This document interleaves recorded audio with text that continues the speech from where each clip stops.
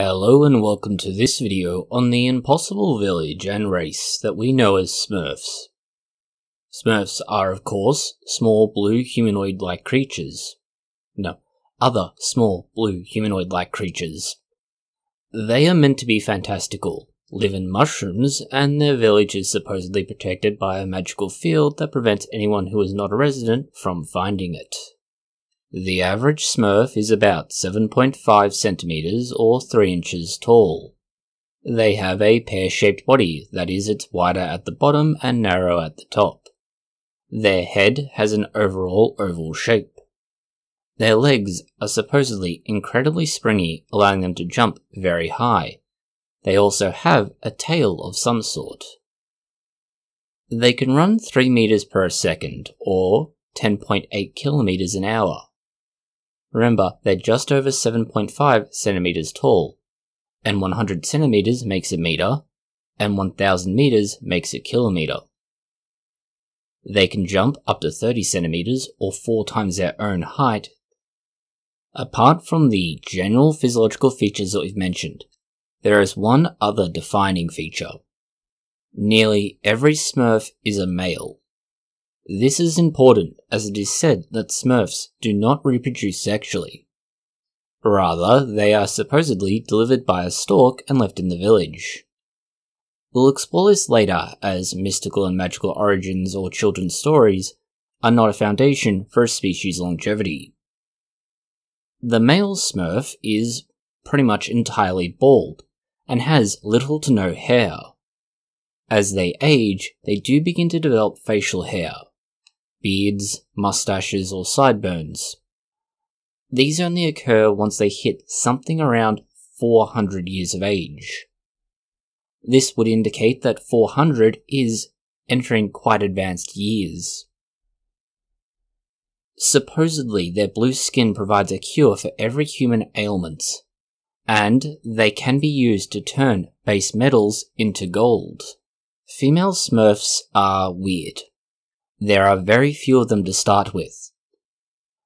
There's also a strong case to be made that those that do exist are most likely magical creations rather than actual smurfs that were born. This raises the question of how smurfs continue to exist and why female smurfs are even created and why they would have an impact on male smurfs if sexual reproduction is not possible. This is a strong argument that Smurfs can not only reproduce sexually, but have a drive to do so, which is why Smurfette is supposedly one of the characters brought in by Gargamel to distract and occupy the male Smurf's attention. With this, let's look at the members of Smurf Village. If we take all of the comics, cartoons, and movies and put every character together, there are 100 Smurfs, 112 if we include the other Smurf villages that we know of. 99 of the main village residents are male. Then there is Smurfette, the only female Smurf. The majority of Smurfs tend to age slower than humans, and thus they will live longer than humans. A Smurf will reach 100 years of age and will then be considered an adult. They do, however, have a lower level of maturity and their mental state is closer to someone between their mid teens and early 20s. Very rarely will a Smurf survive to 1000 years of age, but it does happen. This means it is possible for a resident of Smurf Village to live to 1000 years, although it seems likely far fewer years would be the average. If they follow the normal rules of a biological organism, then they would have far more health issues, fewer abilities to recover from harm, and replace lost cells as they age. This means the older Smurf has the less ability to contribute to the village than the much younger Smurfs do. This last point is especially important. If we do not consider the story of a stork bringing new Smurfs, then we must assume some sort of sexual reproduction is necessary older Smurf village residents would struggle more to reproduce. This would also mean it is unlikely older female Smurfs like Smurf Willow or Nanny Smurf would be able to reproduce. The awkward moment is when we remind you that Smurf Village has only one female who would be of an age to reproduce. This is a problem, not just for the reasons you are thinking of.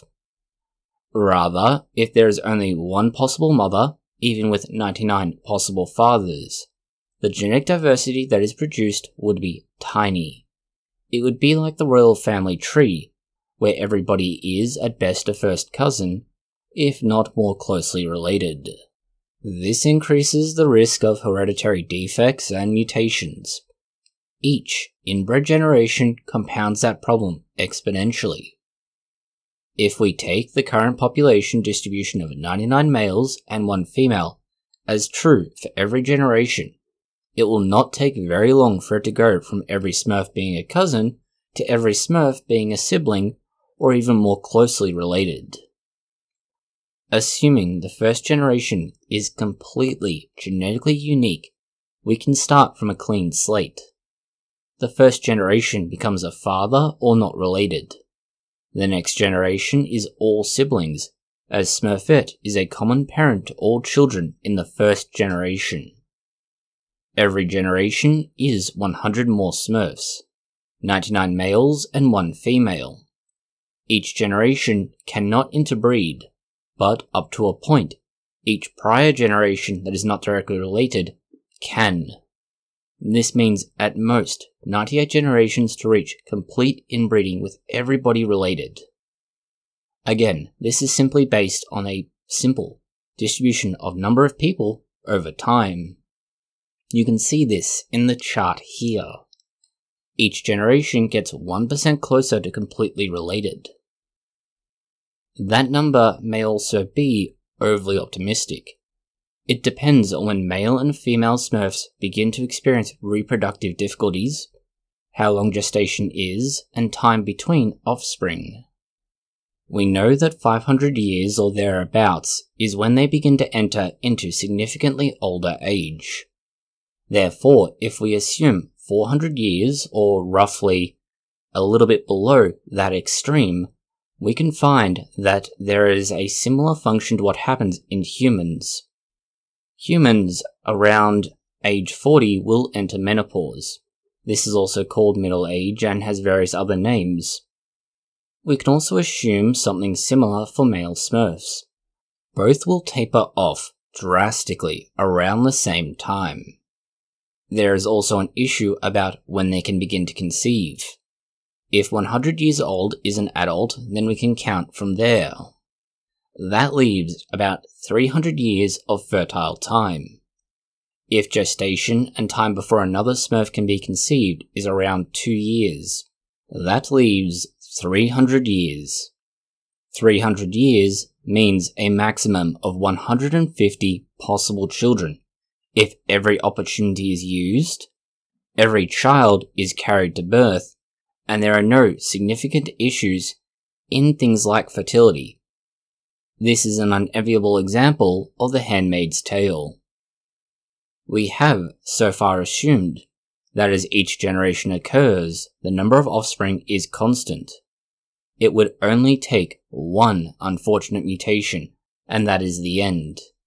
If the number of males decreased, as is likely from inbreeding, the number of generations will also decrease. If it is a single female smurf in that generation, it is the end of the line. From there on, things can only tighten like a noose. This makes female smurfs a limiting factor. With that in mind, after the first generation is gone, and that being the only genetically unique generation, you hit a wall. Between generation 1 and 2, there is a 50% relation. The mother is common to all of them, and all of them have a common mother, but the father may be different between each offspring. A common mother and unique father. Between generation 2, there is between a 50 and 75% relationship similarity, as each is a sibling but has a different father, if they are lucky. No matter how many times you mix and match between each successive generation, the number of possible combinations decreases, so long as there can be no immediate ancestor. All of this has assumed several things. The first is that this is the first generation that is inbred. What about if it is the second, 10th, 50th, 99th? That means our model could be substantially shorter than described. It's also taken the assumption of the most optimal reproduction process being followed, assuming that this is the first generation as well. If only one male and one female reproduce, as with species that have an alpha hierarchy, you will find problems occur much, much sooner. As little as one generation, but likely several more. There is another aspect to this mitochondrial DNA. That is something that's always going to be inherited from the mother. That would mean every generation has the same mitochondrial DNA being passed down. It does not matter if they are a male or a female. If there is some sort of defect associated with mitochondrial DNA, both sexes will pick it up, but only the females will pass it on to their children mitochondrial DNA can only be inherited from the mother. There is really only one bottleneck as a result, and this creates that bottleneck in generation 1. It could lead to many mitochondrial genetic disorders that involve all the systems in the body, things like the brain, muscles, heart, liver, nerves, and so on, being carried on from one generation to the next and just getting more and more common as time goes on. As is obvious, the Smurf village is living on no small amount of borrowed time, and the debt is coming due very soon. They can only keep going for so long without there being very serious deformities or other deleterious mutations that build up within their population. It does raise questions, though. Where are they getting these new children from? If they're not produced via sexual reproduction? Are the Smurfs kidnapping children from somewhere else and bringing them in? Is there some other, rather dark aspect to the Smurfs that's being covered up by a rather nice children's fairy tale? Thank you for watching this video. If you found it interesting, consider liking, sharing, and subscribing. Please post any comments, questions, or suggestions that you have below.